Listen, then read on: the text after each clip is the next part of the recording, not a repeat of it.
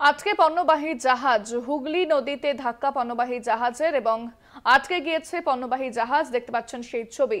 আজকে পণ্যবাহী জাহাজ। শ্যামপুর শ্যামপুরের আটান্ন নম্বর গেটে ধাক্কা জাহাজের। হুগলি নদীর পাড়ে ধাক্কা মারে জাহাজটি এবং আজকে পড়েছে পণ্যবাহী জাহাজ।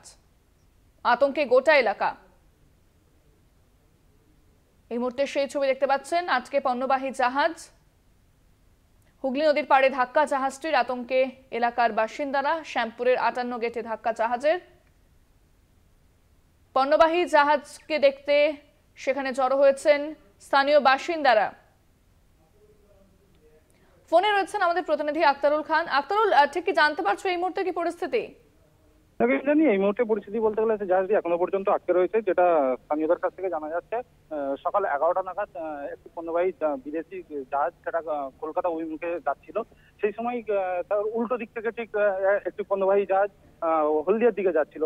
সেই সময় তাদেরই কোনো রকম থেকে নিয়ন্ত্রণ হারিয়েই কোনো কোনো চলে আসে একদম একদম নদীর পাড়েতে।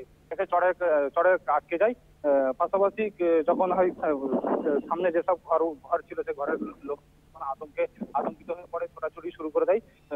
তারপরে পরবর্তীতে শ্যামপুর থানার পুলিশ আসে, পুলিশ এসে এখনও পর্যন্ত সেই জায়গাটায় নিয়ন্ত্রণ এসব আতঙ্ক এখনও পর্যন্ত যথেষ্ট রয়েছে।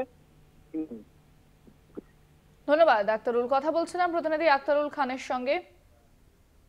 দেখতে পাচ্ছেন, সেই ছবি দেখাচ্ছি। পণ্যবাহী জাহাজ আটকে পড়েছে।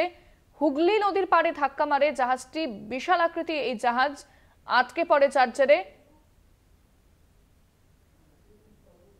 এবং সাধারণ মানুষ, তারা আতঙ্কে তাদের মধ্যে আতঙ্কের সৃষ্টি হয়েছে, তবে সেই জাহাজ দেখতেও তারা ভিড় জমিয়েছেন।